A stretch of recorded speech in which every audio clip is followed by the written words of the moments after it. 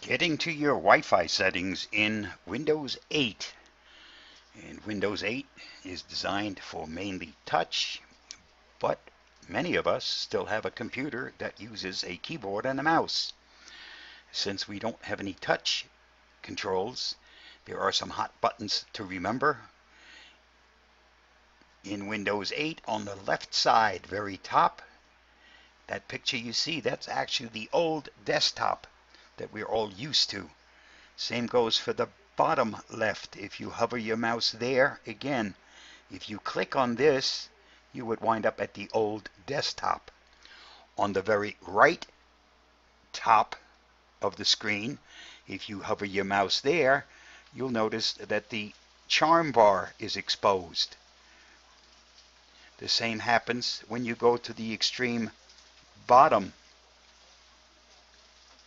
your charm bar again becomes exposed.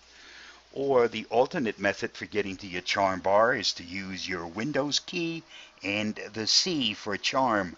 That also brings up the charm bar. In the charm bar, if you use your settings, you see the symbol for internet access and it tells me it's available but I'm not now connected Clicking on it will bring up the networks that are available to me.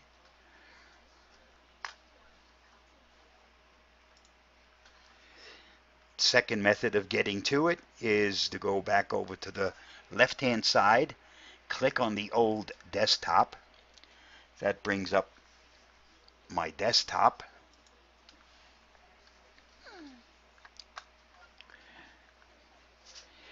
And you'll notice that on the bottom in the system tray there's that same symbol.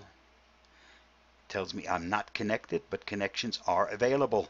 So let's go ahead and connect to one. I'm going to choose my default which is my home network but it also shows others that are available to me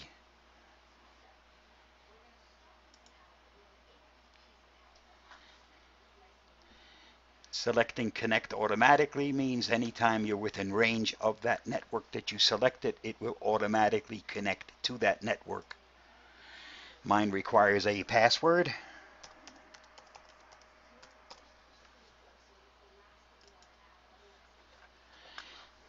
If it's your home network, you turn on your sharing and connect to your other devices. If you're in a public Wi-Fi you would select the, top option. Do not turn on sharing. Do not connect to other devices. The last thing you want to do is to expose anything to an unknown or not necessarily a safe sharing site.